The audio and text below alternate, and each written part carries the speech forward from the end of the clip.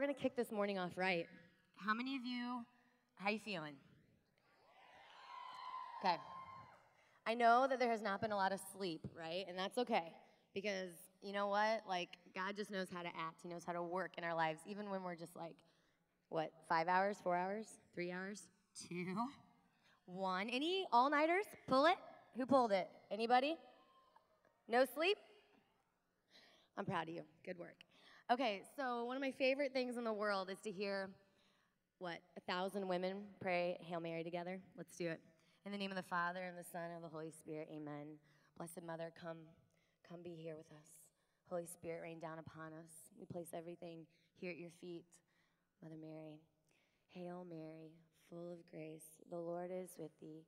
Blessed art thou among women, and blessed is the fruit of thy womb, Jesus. Holy Mary, Mother of God, pray for us sinners, now and at the hour of our death. Amen. In the name of the Father, and of the Son, and of the Holy Spirit, amen. St. Joseph. Okay, here we go. I'm really excited to be here because I usually I show my first slides is um, because, you know, I kind of look 16, 18, 22, right? I'm 31, and I have, you saw my really, really, really incredibly good looking husband, Swaff, and my three cute kids. They're awesome, right? So I have Thomas, Fulton, and Kate. And whenever we were like discerning, we got married the year after college. And my husband had a huge conversion in college, and he wanted nothing more than to go and be a professor. And so he went to grad school and got his doctorate in theology. And we actually live in Atchison, Kansas. Um, Benedictine College is where we live and work. And whenever we went back, um, we had a some a job came open. My husband got the job, and there was another job opening for a residence hall director. Do you guys know like what a dorm mom is? Like a dorm mom, a college dorm mom. Thomas was 16 months, and Fulton was two months. And I got this crazy idea that that would be really fun. And so I applied for this job, and I got it. And whenever they told me they, they told me I was going to be in a in a dorm of junior women, and it was really exciting. And the day before we moved back to Atchison from Chicago, I got a phone call and they said, "Just kidding. We want to give you St. Scholastica Hall, and it's 142 freshman college women." And I was like, awesome. I mean, actually, I was really excited about it.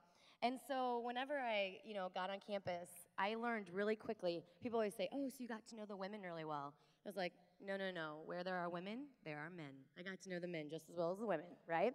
And so my house became a place of, um, you know, I would be doing dishes, and there'd be like five girls, and we would just talk about life. And I would be, you know, strolling the kids, and there'd be like 10 girls, and we would just be going on a walk. And I just lived with them. And I used to call my couch like the therapy couch. You know, I would just, it's gonna be okay. And I would just lay them down and I would just spoon feed them cookie dough and be like, it's gonna be okay. Like, I swear it's gonna be okay. Like, life is gonna be okay. I learned how to make like triple batches of cookie dough real quick, right? Because being a woman is hard. Amen? I'm sorry, is being a woman hard? One more time. Is being a woman hard? So I was out of, you know, I'm out of college. I have these kids, um, and I just wanted to give them anything I could to help them out. I mean, whatever, like boy problems, homesickness, friend problems, drama, drama, drama, and whatever I could do to help. So one night, the girl said, "You got to get up and give a talk about this." And I'm like, "About what?" And they're like, "About what you talk about." I was like, "What do I talk about?" And they're like, "What you talk about." And so I put some flyers on campus and I said, I'm going to talk about love, emotions, Taylor Swift, mental stalking, and Mr. Right. And I thought maybe like 20 girls would come and it'd be really fun. And I, it was a Wednesday night around Valentine's Day, you know, the day loathed by all those who are single. And it was like, maybe we'll get a good turnout. And I walk into the auditorium and there are 300 women waiting for me in the auditorium. I was like, what did I just get myself into, right? Um, and so I gave this talk, and as the night went on, you know, like after a two and a half hour Q and A, it was just it was a phenomenal night. And I'm walking back to my apartment, and there's just groups of girls talking, just like pouring it out. And I walk back to my dorm, you know, the apartment we lived in, and Swaff is standing there at the door, and there's a line of girl out the doors, a line of girls out the door, and he looked at me and he goes, "What did you say?" And I was like, "I have no idea. Like, I have no idea." Um, and that night started a conversation that was just so great because there were so many women I think that would come to me one on one, or like a couple of them would come and they would say like, Sarah, I am such a mess inside. Like I just I feel like I know what I'm supposed to do, but I am just so lost. And I don't know who I am, and I can't figure out what I'm supposed to be doing with my life. And I'm so consumed with who I'm gonna date, and I'm just like, it's just too much. And, and all these, these conversations were all happening in private, and I think it just helped for me to just say, guess what? Like, life is messy. Like, we're, like, you, we're all in this together. You are not the only one please promise me that you'll never sit in your room and go, I think I'm the only person that struggles with this. Like, no, not even close to it, right? And so that night just started this conversation. And the thing that I kept saying to the girls is, look, like the world likes to mess with you. Sometimes you let stuff into your head and you let stuff into your heart and it is just unchecked. Do you know what I mean? Like you just it's just coming, coming, coming, and you're like, why? This is this is affecting me, right? It's the world's idea perfect. You know, I told you guys earlier, it's like th- there's something out there. It's like the big machine that says you have to be like, you know, Kim or Beyonce or Reese or, I mean, I get to hear a name like 15 to 20 different body types that you have to fit into. And it's like, whoa, what? And on top of that, you know, you look at all the, you know, everywhere you go, it's the airbrush models, it's all of this, and you go, I can't compete with that. Like, I'm, like, that's not gonna happen. Everyone has cellulite. Everyone. Everyone. Amen? And if, it, if they don't have cellulite, it was photoshopped. Good for them. We don't have that luxury, right? So, anyway, you know, you come into contact with that and you go, I can't compete with that. But then you jump on to Instagram and you jump on to Twitter and you jump on to social media. And all of a sudden, you, there's no buffer there. It's not a celebrity, it's your friends. And you start comparing yourself to your best friends. And you run the risk of not only tearing them down with your thoughts, but the risk of tearing yourself down every time. And social media, I love it. I mean, what we, I don't know what we do without it. I love it. I'm on all of it, right? Like, it's great. But when you sit in bed at night and you scroll and you scroll and you scroll, it's so easy to feel worthless and to feel like you're not enough and to feel like, man, I am working so hard. Am I just not doing the right things? The world likes to mess with you. And then the whole relationship thing is like, oh my gosh, like, I mean, every one of you in here, who feels this immense amount of pressure to date? I mean, some of you are in relationships, but you know, there is just this pressure out there to date. I was at a high school in Iowa and I gave, I gave a talk at, and they, they asked me to stay for lunch. And so I sat in the high school lunchroom for four lunch periods and different groups of men and women would just sit with me and we would just talk. And this one group, this one group sat down and, and I, I just kept asking, what's it like to be like here in this high school? And the, you know, they would say, well, you're either in or you're out, and if you're out, you're invisible. And I was looking around the, the lunchroom, and you could just see it, like all the cliques. You could name them. Like the, the fear and intimidation was, it, I could smell it. It was tangible to me. It broke my heart. And this one girl sat down, and she's like, it just so, so much pressure to date my dad, you know, I'm, she was a freshman in high school, and her seventh grade sister got her first boyfriend, and they're at the dinner table, and this, her dad says, She has a boyfriend. What's wrong with you? And she told me that story, and like, I just left that high school, and honestly, from Iowa to Kansas, I just, there's multiple times where I just cried because I said, You know what, Lord, like, this is just not okay. It's just not okay. That dad will never know how long that will stay with her boyfriends or ex boyfriends have no idea how long harsh words will stay with you. Groups of girls that make fun of other groups of girls have no idea how long that's going to stay with us. But the whole pressure to date makes me nervous because I, I mean, that's what this talks about. But this whole idea of like the, the world coming in unchecked, right? Because what is it? I mean, relate to this, right? Typical Friday night. Tell me that I'm not alone in this, right? I lived in a college dorm for three years, so I'm, I'm, I'm aware. It's Friday night, Chick Flick Marathon, right? You pick your three different flavors nerdy and flirty. Bad boy goes altar boy, my personal favorite. Part two, the musical, right? You get all these, you, you get all your, your chick flicks, and you're like, mm hmm. So then you find your girlfriends, you're like, Friday night, it's on. You put all the, you know, you get all ready, you have, put on your like hoodie footy, you know, hot pink, zebra print, right? Leopard. Um, and you grab your box of Little Debbie's, I mean both of your boxes of Little Debbie's, right? And you get in front of the screen and you watch the first chick flick and you're like, oh, I love it. And you're like, let's do it again. So you put on the second one and you're like, yeah. And then it's like midnight, and there's no more Oreo, there's no more, you know, little Debbie's. But you're like, let's just let's go for it. Let's you know do the third one. So you watch the third one, and the credits are rolling. It's like two in the morning, and you're all like zombie-eyed, and you and you sit up, and all of a sudden, as the last credit rolls, you pick up your remote control, and you like throw off the hoodie footy, and you take the remote, and you chuck it against the wall, and you're like, when's it gonna be my turn? I am so sick and tired of waiting for Mr. Right to come into my life. I need a guy, a really cute guy, and a horse and a sunset right now. Right? Amen?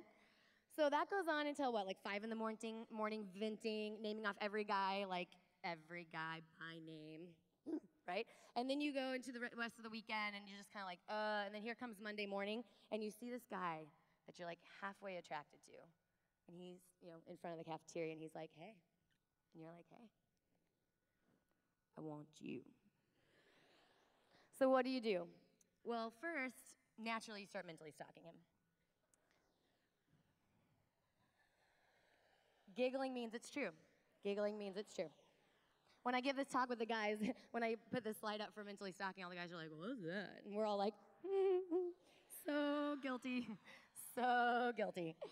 Mentally stalking. You think about like what the first date's gonna be like, and I mean what the proposal's gonna be like, and and then you you know you're like, I have it all Pinterest. Like I mean it's a it's a secret hidden board, but it's all there. He just has to push play. I got the ring, the invitations. We are good. He is in. We are awesome, right? Like mental stalking. And then you move to my, one of my personal favorites, social media stalking.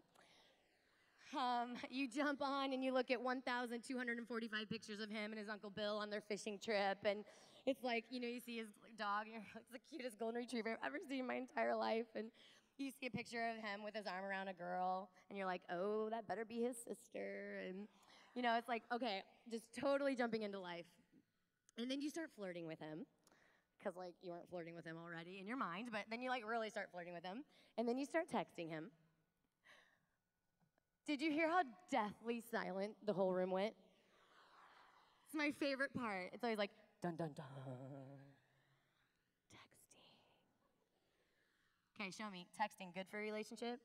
Bad for relationship? Neutral? Neutral? Depends. This girl right here. Texting, calling, physically stalking. Everyone always thinks like puppy dog, like, oh, he's so, like, follow him around, right? True, yes. I call this the emoda coaster. The reason why I call it the emoda coaster is because it's kind of like a roller coaster. Anybody ever been to like an amusement park, Six Flags, World of Fun, Disney World? You know, you know that whole, you know, you're in, you're there, you're ready, yeah, let's do this. And you wait in line for four hours and you're convincing all your friends that this is gonna be epic. And you get on the ride and you're like, yes, yes. And then you get to the top and it drops you and you're like head whiplash and your head's like banging back and forth and you, you know, you come to your stomach and you come to this grinding halt and you take one step off the ride and you throw up in front of everyone. And then you sit by a shady tree on a bench for the rest of the day thinking, why did I ever think that was a good idea? Don't raise your hand. Anybody ever been in that relationship before? Okay, raise your hand. Anybody ever seen that relationship happen before? A motor coaster. Now listen, I just told you there would be no relationships, zip, without a little mental stalking, right? I'm just saying, I mean, social media stalking, yeah, you're gonna jump on and see, like, you know, what he's up to, what his grandparents look like, right? I mean, you're gonna figure that out. But could there be some potential traps? I'm thinking, yeah. My little clicker doesn't want to work. Here we go. Mental stalking. It's a one way relationship.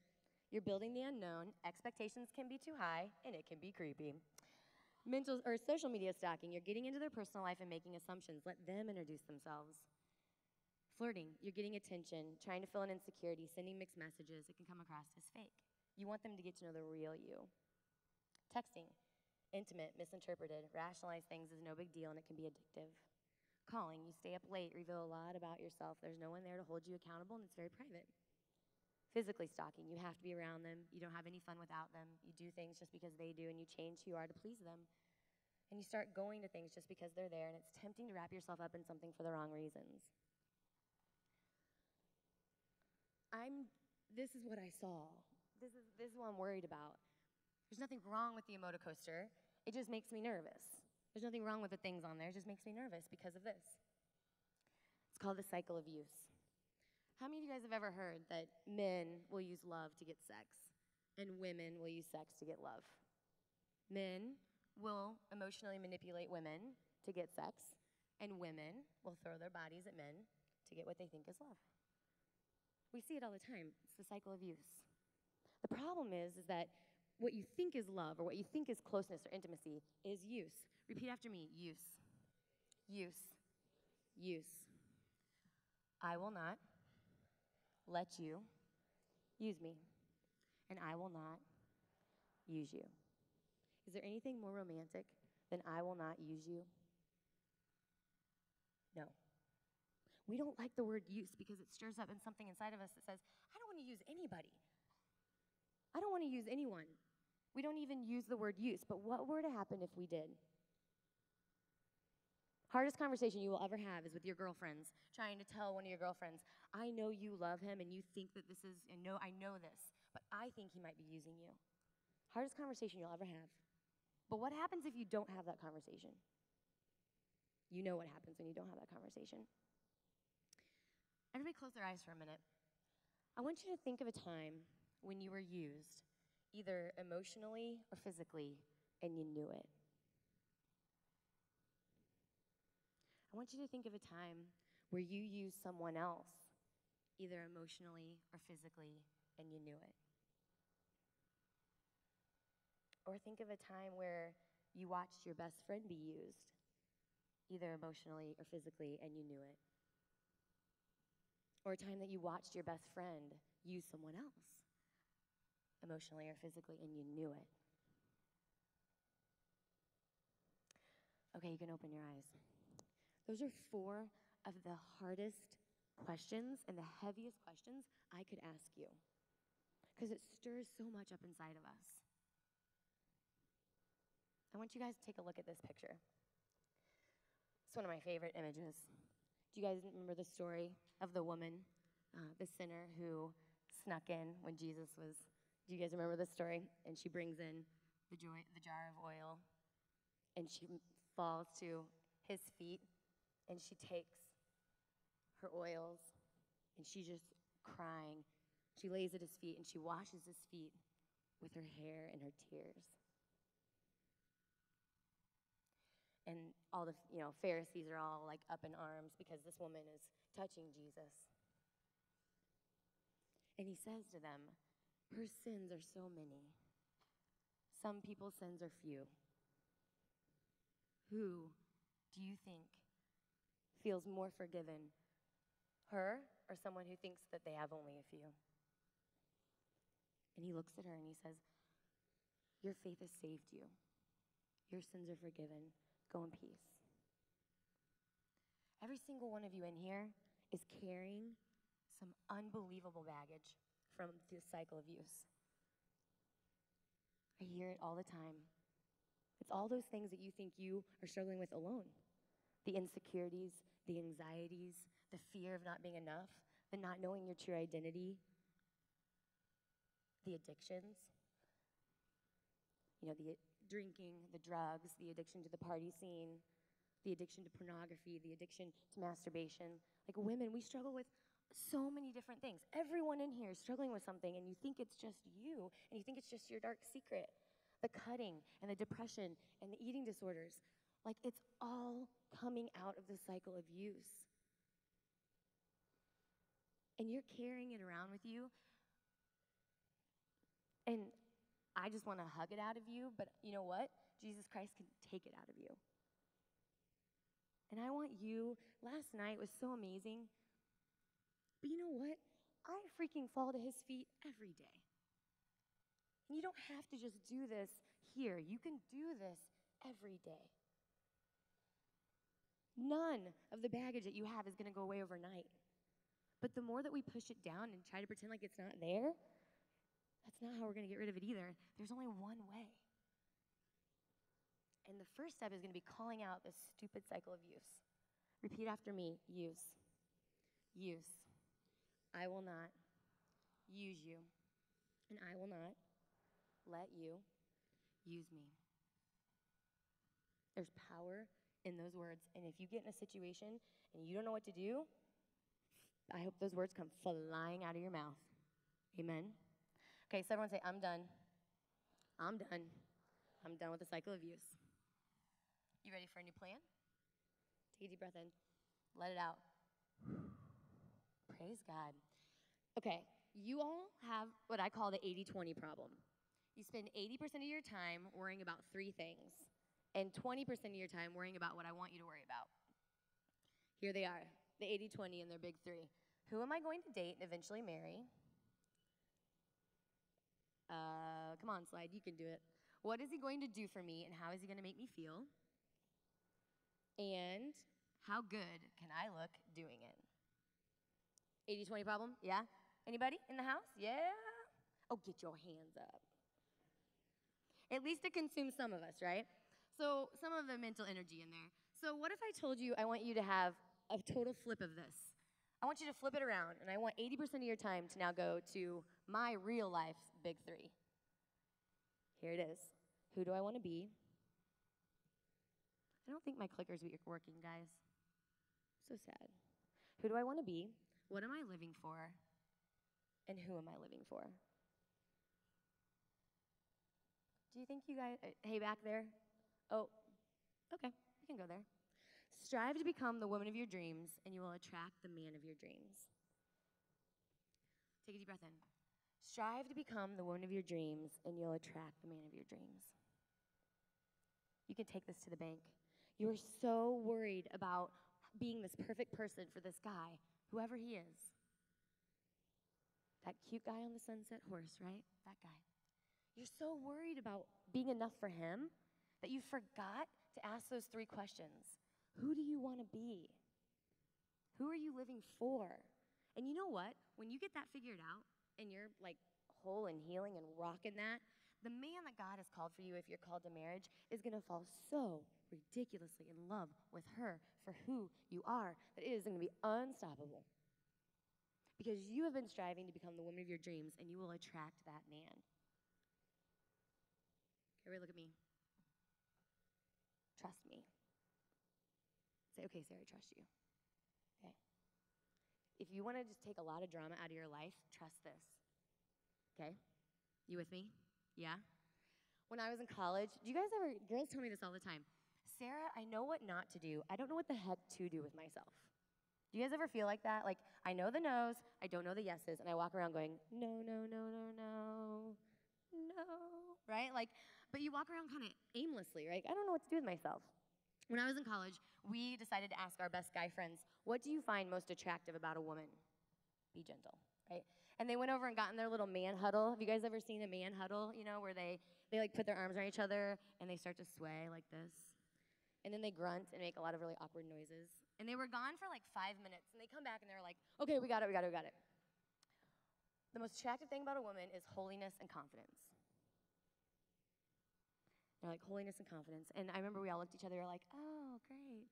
I thought I just had to lose 10 pounds and like dye my hair. Great. Now I have to be holy and confident? Like, what the heck is that? You know what I mean? Like, how am I supposed to do that? And we went home that night, and I remember one of my, one of my girlfriends was like so mad. She's like, why did we even ask? Now we have to try to figure this out, and I have no clue what that is, right? So it started a conversation that's been going on for years now called, What Does This Woman Look Like? The Simply Irresistible Woman. Do you want to see her? She's the simply irresistible, virtuous woman. Here she is. Guys, will you cue my slides? That'd be great. Here she comes. The simply irresistible, virtuous woman. She's feminine, she's confident, and she's committed. She's feminine, she's confident, and she's committed. Jesus Christ at the rock, center, anchor of her life, and she's virtuous. I had no clue what virtues were, no clue. And we started looking into it. Check this lady out. She's gentle and kind, graceful and sincere, patient and flexible, doesn't gossip, isn't rude. Drama is a major turnoff. She's poised and modest, open to the needs of others, nurturing and welcoming, joyful and fun. She stands up for what is right. She has courage. She's not afraid to confront and help someone. She's genuinely excited for another, not jealous or vain. She's genuinely excited for another, not jealous or vain. If we can figure that one out, look out, world. She speaks with conviction. She's a true leader. She's responsible, prudent, honest, sensitive to the needs of others. She puts others first before herself. She strives for excellence in all things chastity, sobriety, and academic excellence. She's not, she's not led solely by her emotions. She's not led solely by her emotions. She's balan- she has balance and order, charity and service. She forgives. She's trustworthy and loyal and pure. Everyone take a deep breath in. Out. Repeat after me. Striving. Striving. Striving. Not perfect, because perfect doesn't exist. Is there any single attribute on this list that has anything to do with the way you look? Okay, everyone go like this. Put it in a box. Put it away. The simply irresistible woman, the virtuous woman, has nothing to do with the way you look. Praise Jesus, right? When I put this slide up when guys are here, I'm always like, guys, is this attractive? It's like deafening. They yell so loud. And my challenge to them is always, okay, well then encourage this and not the other thing, right? When you look at this list, I don't want you to get worried. I want you to get excited. I want you to rock it. I don't want you to look at this list and go, like most women, I'm not that, I'm not that, I'm not that, I'm not that, I'm not that. Nope. I want you to say, I want to be that, I want to be that, I want to be that, I want to be that. This is my list, you guys. I live this list. On my website, I have the Virtue Challenge. All these, all of these things are here, and you can look at, you can download it. I have girls that download it and put it on their bulletin board, and they have accountability partners, and they work on different virtues throughout the week. You want to know why? Because your true identity in Christ is built up in this.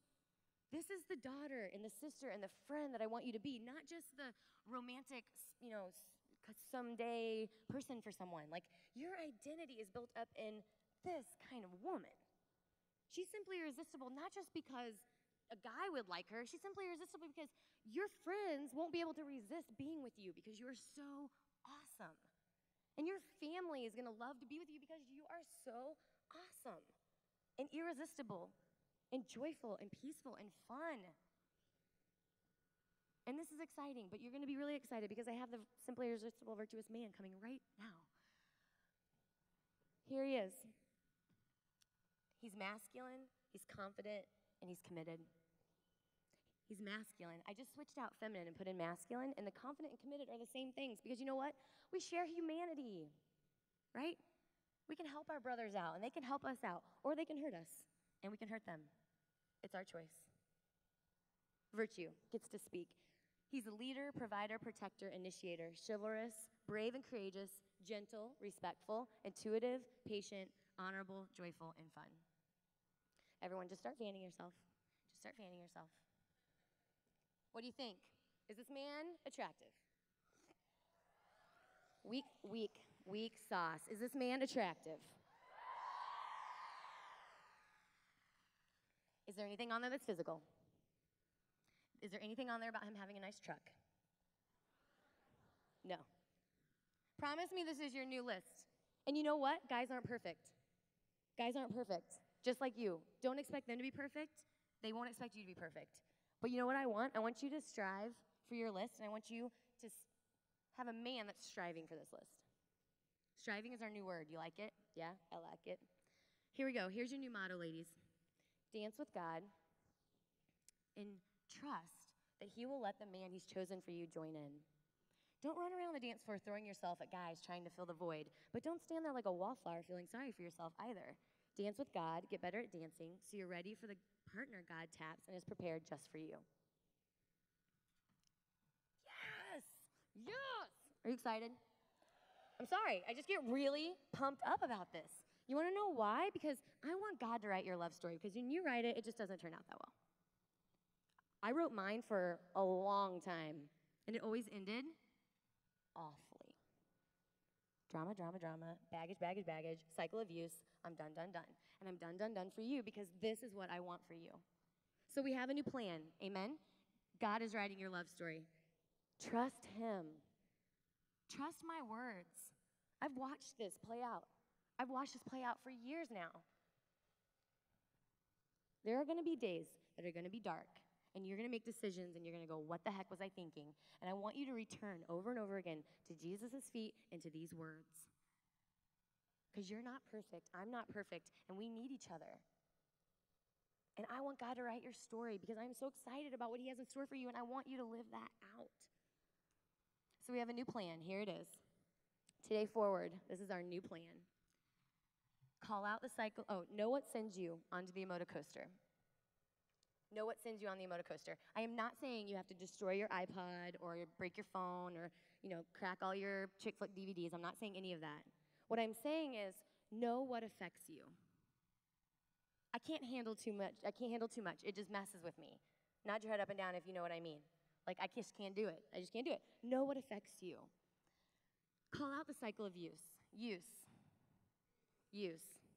Use. Strive to become the woman of your dreams. Rock that simply irresistible list of virtues. Protect each other with friendship and respect. Is it hard to be a woman? I'm sorry, is it hard to be a woman? Look around the room. Look at your girlfriends. Look around the room. Look them in the eye. Look them in the eye. Hey, beautiful woman of God. How's it going? You look great this morning after two hours of sleep, baby. Look at you. You look great. Okay, now raise your right hand.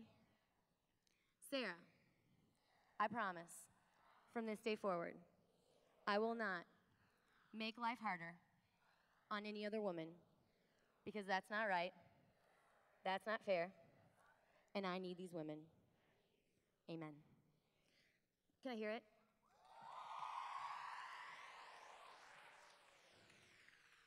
Run to the Lord, fall to his feet, and let him show you your true identity and worth. Don't forget this weekend. Don't forget this night, that last night, this weekend, today. Don't forget this talk. Don't let this talk die in your heart. You need to know how much God loves you. And you can trust Him, especially with this worry of yours, this relationship, dating, who am I going to marry, who, what's my vocation, this worry of yours we try to pretend like it's not that big of a deal, and I don't think about it that much, but like it's the one thing that is so hard to give to Jesus because you're giving him your future. And I know how hard that is. I remember. But you know what? Like, I did it. I gave my future to God. It wasn't always easy. I wasn't always great at it. But look at, I mean, God gave me this man. God is going to give you your vocation. If you're called to married life, if you're called to religious life, if you're called to consecrated single life, like, God is going to give you that. But you know what? He wants to give you so much right now. God has given you the gift of time with Him to prepare yourself to be that woman in your vocation. Every woman in here that's in their vocation knows what I'm talking about. If I could go back before I was married, it would be only to grow closer to God and to grow in virtue. That's it. And I want this for you. Close your eyes. I want, to, I want you to pray this with me. I am loved. I am never alone. I'm a daughter of God, and He's writing my story. I'm loved. I'm never alone. I'm a daughter of God, and He's writing my story.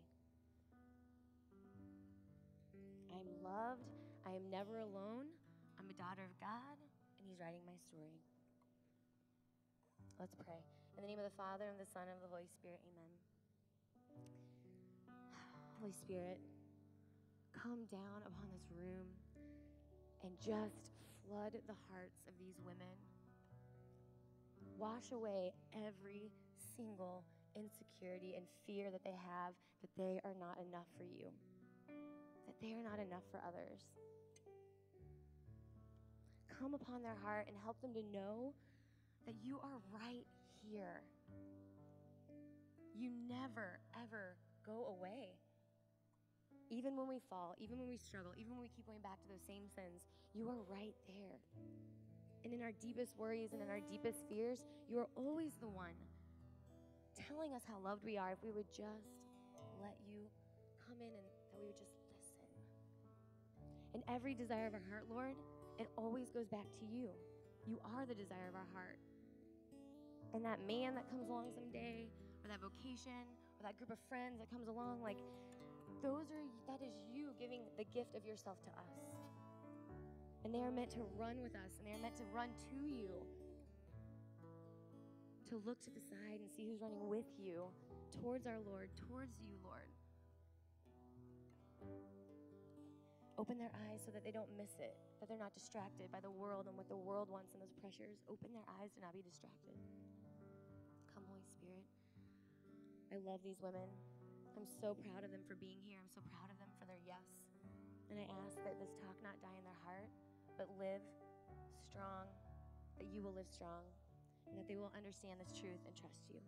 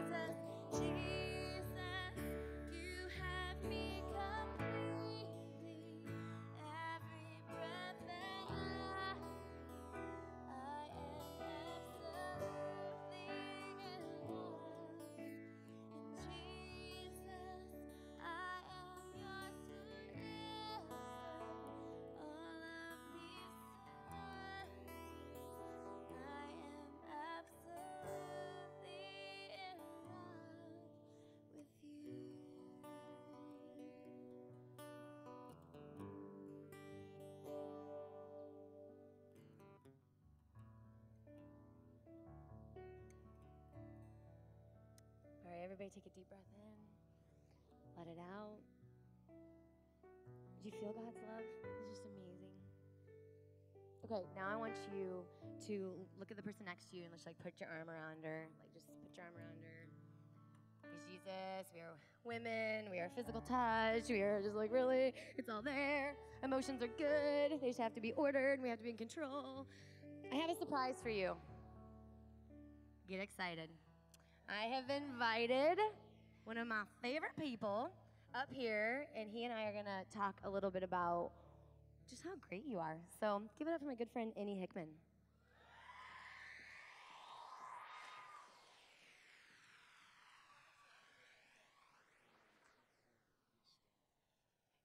Okay, so I invited Ennie up here because I could stand up here all day and talk about how phenomenally fabulous you are. But sometimes it just helps to hear from a dude. Amen, right? And Ennie is just an awesome dude.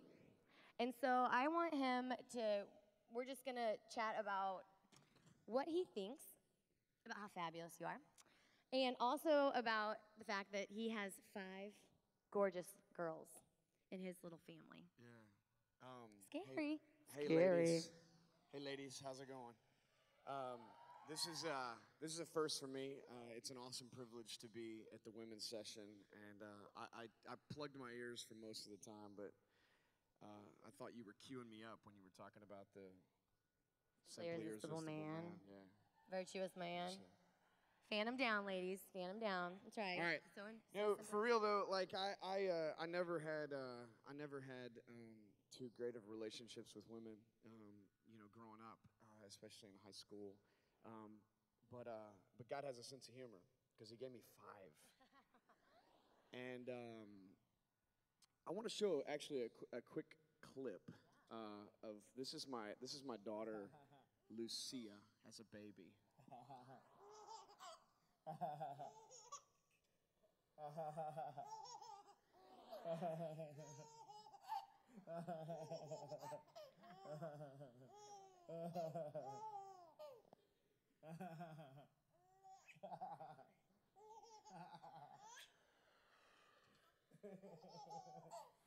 That goes on for hours. That's good. You can cut the clip. That literally goes on for like an hour. Um, but the, the, you know, how can I say this? I, I want to. I just want you to know just how treasured you are as a daughter. Um,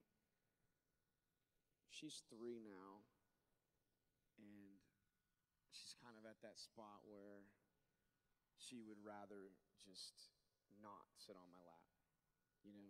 But those times those those were the those are the most treasured times you know when they're babies and you're just looking at your daughter and you're just like you know and they're just like you know like we there's there's a there's a there's a certain amount of connection i think with all kids but i think there's something very special um, about a daughter um, and i just uh, it kind of breaks my heart sometimes because I feel like at that age and then, you know, through toddlerhood, they still know how treasured they are. Yeah, my, my daughters still know how treasured they are. And then they become three, four, five. And then, you know, I'm like, come sit. You know, come, come sit with me. And I just want to tell you how beautiful you are. And they're just like, I just want, can I go play? You know, like, and then, you know, and I'm like, come on. And then like my 12 year old, you know, and I'm like, come on, come sit on me, you know, like, you know, and they're like, this is Hi, really awkward, you know. And, but but I, I think I think the I think the like my heart. I mean, if if if I were to say any, you know, just one thing to you, ladies, um, well, maybe a couple things, but you're you're so treasured. Um, and I'm not just talking about your earthly dad as an earthly dad that fails, I don't love perfectly. And I'd just like to say, like, on behalf of all dads, like, we're trying. We really are. We're, uh, we're not perfect. And if, and, if, and if you feel like there's a disconnect with your earthly dad and you don't know how much he treasures you, like, I just want you to know that, like, we're trying. And, like, you are treasured by your dad. You are. Because every single one of us did that at one point. And every single one of us sort of longs for that. And so on behalf of your dad, like I just want to say like sorry. Like I'm really I'm really sorry.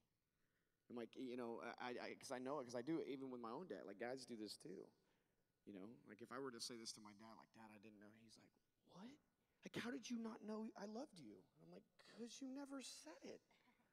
Like, cause you know, you know, like I, I didn't, I didn't ever feel, you know, it's like, oh, son, like I, I love, you know, and I, I, I feel like now, you know, I know, I know, I know that some of our dads have wounded us. Like there are actual wounds. I know that when I say father, that that doesn't always resonate. Some of you have lost your dads. Some of you have never known your dads. Some of you have been really hurt by your dad, or your mom's been really hurt by your dad, and I, I understand that. But I just want to say sorry, like on behalf of dads, like you, you are treasured, and that you are beautiful. And then the second thing I want to say is just this like, if, if an earthly dad, like myself, I mean, like my daughters were born, I'm just like, here, here are the keys to the car. Like, I don't, like, you are so beautiful. You're so great. And if, and if I can do that as a wounded guy, you know, just how much more this daddy God loves you as, as a daughter. Um, just absolutely beautiful in his sight, you know, and, um, it breaks my heart because my little girl's my little girl's 12 she's growing up she's not very you know that much younger than you guys and and uh, it breaks my heart because i see her going through this you know like this this you know this this changes and everything and trying to fit in and trying i'm like baby if you just only knew how beautiful you are that you don't have to fit into any, any of these patterns of the world but that you you're just beautiful as you are you know? Um, i think that you know, that would be the one thing I would just want You know. And I need you, ladies. I need you, ladies, to change those patterns for my five daughters. You know, like I need And you to change. Kate. Yeah. You know, what'd you say? My Kate too. Yeah. I mean, yeah, I need. she's 3 and Mhm. you have your. They're gonna be friends. That's fun. Um, they can be college roommates. That's kind of fun. Yeah. Kate's crazy. It's okay. It's gonna be Okay, well, right. they okay, might good. We're good. smoke weed together Um, then. It's the same thing for me. No. Just kidding. I'm just excited for this. You guys are the generation above them. You're the girls they're going to look up to. And you're the ones that can say, you can change that whole idea of growing up thinking you have to just be the world's idea perfect. You can change that for them. I need you, like I told you before, I need you to say the word use. I need you to also be able to say, like, it's not about the outside, it's not just about the external. Like, what's going on on the inside? Your interior life. And that's one of the things Ennie and I were talking earlier this weekend about just, it's so hard for, you know, Ennie can sit up here and say it a hundred times, like how beautiful you are, how much, like, he values your worth. We could just talk, talk, talk, talk, talk. But for so many of you, I know it's just in one ear and out, in one ear and out the other because you don't really believe us. And you know what? That's going to take time. But I need you to at least be open that when someone gives you a compliment or someone says something to you, that you don't instantly just turn it off. No, I'm not. No, no, that's not true. It's like God, you know, God is. God is in that compliment, trying to reach out to you to help you to find your identity. Listen to people like Ennie. Listen to those strong men in your life. When your dad is being super awkward but trying to t- like have a talk with you about like your grades. yeah. Like let him have that talk with you Yeah. and sit up his Yeah. lap and be really awkward and it's gonna be great. Like we're just goofy. like we're just terrible at, like- at like expressing the thing. I mean, you can talk to our wives, you know. Like we're not. We're just not always good at expressing our love for you. I mean that, you know. And and sometimes, yeah, it comes off as awkward or like, hey, you want to go, you know, get a hot dog? And you're like, Dad, I don't eat hot dogs, you know. And you're like, just go get a hot dog with him, you know. Just go get a stinking hot dog with him we we don't always know how to do that but that but that time spent we miss that. We really do. We miss that. We we know how to love on little itty ba- bitty babies but then you start becoming women and we're like uh. so yeah yeah i love that i love that idea you know? Just just know that dude if you could do me a favor um, whoever the father figure is in your life it could be a priest it could be you know it could be your uncle it could be your grandpa whatever would you please just go give him a big, huge hug when you get home. You know, whether it's your dad or your earthly dad, whatever, like just just go give him a big hug and, and, and just tell him that you love him and that you appreciate him. That would that would be huge. And begin to develop that relationship because it is going to be strong relationships with men. You know, um, I hope that my daughters measure every dude like up to me, or maybe Paul George. You know, because we need to get some height in our family. we need to yeah. Yeah, exactly. Like you know, like it's those it's those people you you know you develop those relationships with with strong men, and then all of a sudden you're like you meet this schmuck. You know, I'm um, excuse me. Uh, you know, you meet this guy, and That's you're a great guy. and you're just like you're like what no you don't measure up to this you know like i want somebody you know who's going to love me like my grandpa loves me or, or, you know so on And and, that so was forth the other thing. Remember how y'all took the pledge that you're gonna not make it harder on life on any other woman ever again because you know how hard it is on you. Remember that pledge? Yeah. Okay, good. Um, that's one of the things that I was. You know, and I were even talking about this. Is I need you to build up a very, very strong, awesome rock star posse of women around you. And here's why. Remember my whole Emoto coaster and all the drama, drama, drama? Like, you have to know whenever you're walking into that minefield, you need to be able to have these phenomenal women around you that are the check for you. They're the check for you. So when this not so wonderful guy, that's not in ear, Paul or Swaff, when he walks into your life and you're like so tempted to throw your arms, throw yourself into his arms because you just want to feel loved, you don't want to feel insecure, you don't want to feel alone. Like, you know, you get I want you to have those that posse of women around you that say, "Whoa, whoa, whoa, chica, come here, like over here, right? Like I want. Okay, we're gonna build you up because this is not gonna this is not gonna be good for you, right? This is not gonna build you up. So I know. Okay, look at me. I know how hard it is to trust women. It is really hard to trust other women because we are not. Guys ask me all the time, why are women so mean to each other? I was giving a talk one time and I did a question and answer for junior high kids and I pulled out slips of paper and the first question was in girl handwriting and the next question was in guy handwriting. The girl handwriting was, Where did you get your shoes? And the boy handwriting was, Why are girls so mean? And I was like, I can answer this one. I cannot answer this one. Right? What's the point? Like, be good to each other. because you're Build each other concerned up. about shoes I know. it's like it It's answers friendship and each other shoes. They- and they- those questions answer each other why are girls so mean because they're asking Interesting about shoes. shoes I, that's exactly right. look at my shoes What's my point? Like, I really want you guys to go home this weekend and find the two or three women that you are really close to and say, Do you remember Sarah's talk? Yep. So, my favorite parts about my talk is you can't, none of you can pretend like you didn't just hear it. Boom. Right? Like, you all just heard my talk, and you all heard any talk. And so, you all were here this weekend. So, you need to get together and say, That talk is legit. That lifestyle is legit. I want that life. Will you run with me? And will you, you know, buffer me from all this other stuff I don't want to be about? And will you help me grow like this? Because it's hard. And if you have two or three close women that you're that you're already close with, praise God and invite other women into your posse because they need you so badly. Yeah. Can I can I get like some love, like some excitement for that? Because that's really exciting. Any last thoughts from you, my man? i don't know maybe we should have a talk show What about a morning show? Like we could do like a. yeah wake, Uh, wake up I get with called Kelly Ripa a lot. and So Kelly Ripa, and you can be the big to all football player guy. that's me big and black okay, you are loved. All right. I'm so inappropriate in the morning. Let's pray. You can do it. I All right. Will y'all stand with us?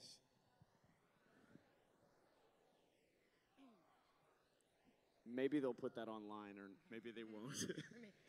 Cut. Let's pray. In the name of the Father, and of the Son, and of the Holy Spirit. Amen.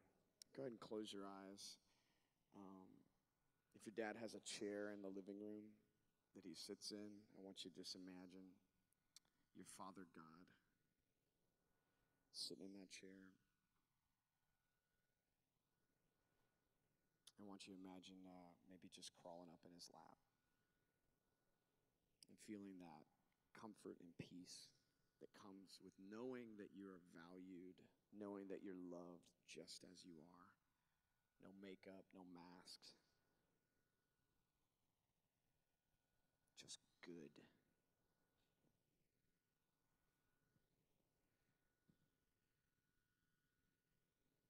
Father God, we run to you. We believe that you are who you say you are. We believe that you are a good father and that you love us, your children, unconditionally. God, I pray for these, your daughters, that you might reveal to them their goodness, their value, their worth. Not to settle, God, but to receive all the good gifts you have for them from you. We know you love us. Help us to love you more. And Mary, we pray, we beg you to intercede for us at the feet of your Son. So we say together, Hail Mary, full of grace, the Lord is with thee. Blessed art thou among women, and blessed is the fruit of thy womb, Jesus. Holy Mary, Mother of God, pray for us sinners, now and at the hour of our death. Amen. In the name of the Father, and the Son, and the Holy Spirit. Hey, if any of you got really anxious because you didn't have a pen, I have all the slides on my website at sarahswafford.com and emotionalvirtue.com. And if you could pray for me, I just finished the last chapter of my book. So, so I'm hoping it'll be out by like Christmas time. So if I, my one wish is just that someday I could have a whole stack and I could just throw them out in the crowd, right? So if you could just pray and don't freak out because all the slides are there. I will see you on social media, lover. I just love it. I'll see you guys on Twitter and Instagram. Yeah. Love you.